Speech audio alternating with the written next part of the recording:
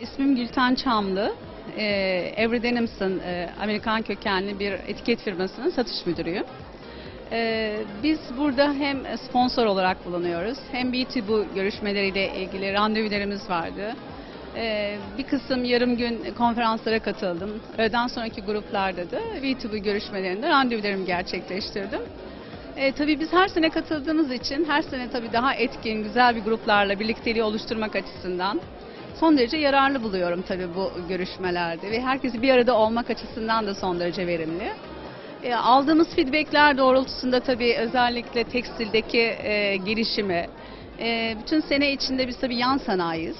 Bu yan sanayide beklentileri e, karşılamak açısından da son derece verimli buluyorum.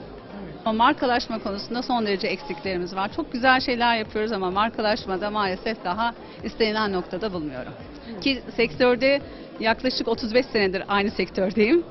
Ve hakikaten e, çok büyük bir eksiklik olarak ve yani çok daha iyi olabiliriz o noktada. Çünkü yani herhangi bir eksikliğimiz yok ama daha çok hizmet e, sektörü gibi görüyoruz olayı. E, Şimdi tabii e, markalaşma konusunda bir işi iyi yapmaktan öte tabii pazarlama çok etkin.